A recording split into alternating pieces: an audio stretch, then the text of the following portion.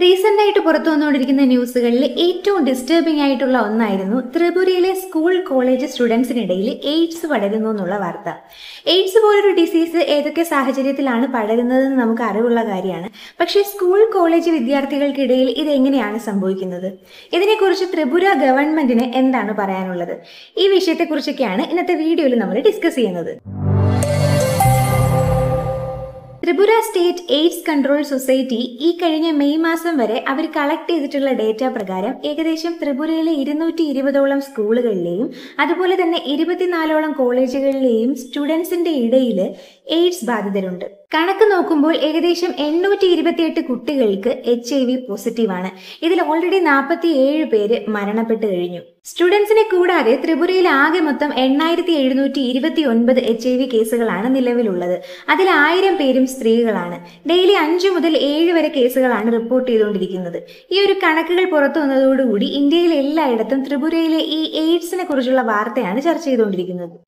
AIDS പകരുന്നതിലെ പ്രധാനപ്പെട്ട കാരണങ്ങളിൽ ഒന്നാണ് സുരക്ഷിതമല്ലാത്ത ലൈംഗിക ബന്ധം.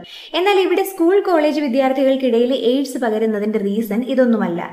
ത്രിപുര മണിപ്പൂർ നാഗാലാൻഡ് തുടങ്ങിയ സെവൻ സിസ്റ്റേഴ്സ് എന്ന് നമ്മൾ വിളിക്കുന്ന വടക്ക് കിഴക്കൻ സംസ്ഥാനങ്ങളിൽ പൊതുവെ കുട്ടികളുടെ ഇടയിൽ പോലും ഡ്രഗ്സിന്റെ ഉപയോഗം ഭയങ്കര കൂടുതലാണ്. മ്യാൻമാർ പോലെയുള്ള രാജ്യവുമായിട്ട് അതിർത്തി പങ്കിടുന്നത് കൊണ്ട് തന്നെ ബാൻ ചെയ്യപ്പെട്ട പല ഡ്രഗ്സും അവിടെ കുട്ടികൾക്ക് ഈസി ആയിട്ട് ലഭ്യമാകുന്നുണ്ട്.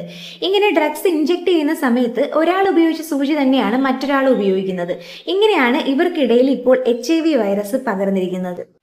പൊതുവായിട്ട് ബോഡി ഫ്ലൂയിഡ്സിലൂടെയാണ് ഈ ഒരു രോഗം പകരുന്നത്. നിങ്ങൾ ഹോസ്പിറ്റലിൽ പോകുമ്പോൾ ഇഞ്ചക്ഷൻ ഒക്കെ എടുക്കാൻ വേണ്ടി ഇരിക്കുമ്പോൾ ശ്രദ്ധിച്ചിട്ടുണ്ടാകും. നഴ്സ് വന്നിട്ട് ഒരു നീഡിൽ പുതുതായിട്ട് അതിന്റെ കവർ പൊട്ടിച്ചെടുക്കുന്നത് നിങ്ങൾ കാണുന്നുണ്ടാവും. എന്നിട്ട് ആ നീഡിൽ ഉപയോഗിച്ചതിന് ശേഷം അവരപ്പോൾ തന്നെ ഡിസ്പോസ് ചെയ്യുന്നത് നിങ്ങൾ കണ്ടിട്ടുണ്ടാവും. എന്തുകൊണ്ടാണ് ഒരാൾക്ക് ഒരു സൂചി ഉപയോഗിക്കുന്നത്? ഒന്നിൽ കൂടുതൽ ആളുകൾക്ക് ഒരേ സൂചി ഉപയോഗിച്ചു കഴിഞ്ഞാൽ ബ്ലഡ് വഴി ട്രാൻസ്മിറ്റ് ചെയ്യുന്ന ഡിസീസ് അങ്ങോട്ടും ഇങ്ങോട്ടും പകരാനുള്ള സാധ്യത വളരെ കൂടുതലാണ്. ഇവിടെ ഡ്രഗ് അഡിക്റ്റ് ആയിട്ടുള്ള ത്രിപുരയിലെ കുട്ടികൾക്ക് സംഭവിച്ചതും സിമിലർ ആയിട്ടുള്ള ഒരു കാര്യം തന്നെയാണ്.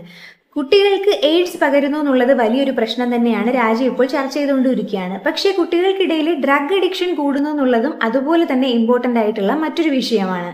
ഈ ഒരു വാർത്ത പുറത്തേക്ക് വരുമ്പോൾ ഒരു ഇതര സംസ്ഥാനത്തിൽ ജീവിക്കുന്ന വ്യക്തി എന്നുള്ള നിലയിൽ നോക്കി കാണുമ്പോൾ ത്രിപുരയിലുള്ള ആളുകളെല്ലാം ഡ്രഗ് അഡിക്റ്റ് ആണ്. അവിടെയുള്ള കുട്ടികൾക്കെല്ലാം എയ്ഡ്സ് ആണ് എന്നൊരു ധാരണ നമ്മൾ വെച്ചു പുലർത്താൻ പാടില്ല.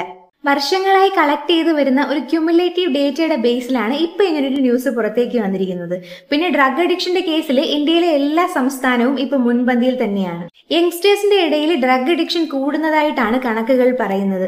പൊതുവെ നമ്മുടെ യങ്സ്റ്റേഴ്സ് എല്ലാം മദ്യപിക്കുന്നതിനെയും പുകവലിക്കുന്നതിനെയൊക്കെ മാസായിട്ടാണ് കാണുന്നത്. നിങ്ങൾ ശ്രദ്ധിച്ചിട്ടുണ്ടാവും ആൺ പെൺ വ്യത്യാസമില്ലാതെ എല്ലാവരും ഈ പുകവലിയെയും മദ്യപാനത്തെയൊക്കെ നോർമലൈസ് ചെയ്ത് സംസാരിക്കുന്ന ഒരു പ്രവണത ഇപ്പൊ നിലനിൽക്കുന്നുണ്ട്.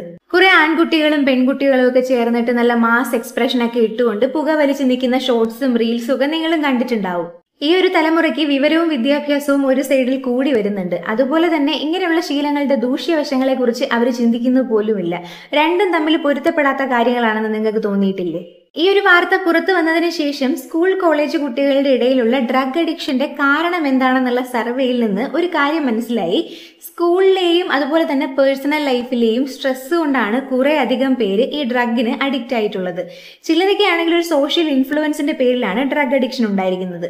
സോഷ്യൽ ഇൻഫ്ലുവൻസ് എന്ന് പറഞ്ഞാൽ മറ്റൊന്നുമില്ല. നിങ്ങൾക്ക് ഒരു ഫ്രണ്ട് സർക്കിൾ ഉണ്ടായിരിക്കും. ആ ഫ്രണ്ട് സർക്കിളിൽ ആരെങ്കിലും നിങ്ങളോട് പറയും ജസ്റ്റ് ഒന്ന് ട്രൈ ചെയ്ത് നോക്കുക ചുമ്മാ ട്രൈ ചെയ്ത് നോക്കുക വളരെ നന്നായിരിക്കും. ഒരു പഫ് എടുത്ത് നോക്കുക അത്രയും ചെയ്താൽ മതി. നീ പിന്നീട് ഇത് കണ്ടിന്യൂ ചെയ്യണമെന്നൊന്നുമില്ല ജീവിതത്തിൽ നമ്മൾ എല്ലാം എക്സ്പെരിമെന്റ് ചെയ്തിരിക്കണമല്ലോ. ഇങ്ങനെയൊക്കെ പറയുന്ന ഫ്രണ്ട്സ് നിങ്ങൾക്ക് ഉണ്ടാവും ഇങ്ങനെ ഒരു രസത്തിന് വേണ്ടി സ്റ്റാർട്ട് ചെയ്തിട്ട് പിന്നീട് നിർത്താനാകാതെ അതിന് അടിമപ്പെട്ടു പോയ നൂറുകണക്കിന് കുട്ടികൾ ഇതിന് ഉദാഹരണമാണ്. പിന്നെ ജീവിതത്തിലെയും പേഴ്സണൽ ലൈഫിലെയും അതുപോലെ തന്നെ സ്കൂളിലെയും സ്ട്രെസ് കൊണ്ടാണ് ഞാനിത് സ്റ്റാർട്ട് ചെയ്തത് എന്ന് പറയുന്നവർ എലിയെ പേടിച്ച് ഇല്ലം ചുടുന്ന മാതിരിയുള്ള ഒരു മണ്ടത്തരം ചെയ്യുന്നവരാണ്. ശരി ഈ അഡിക്ഷൻ എങ്ങനെ സ്റ്റോപ്പ് ചെയ്യുമെന്ന് ചോദിച്ചാൽ അത് അത്ര ഈസി ആയിട്ടുള്ള കാര്യമല്ല. എന്നാൽ ഇമ്പോസിബിൾ ആയിട്ടുള്ള ഒന്നുമല്ല. നിങ്ങൾ ഒരു ചായ കോഫി അഡിക്റ്റ് ആണെന്നിരിക്കട്ടെ.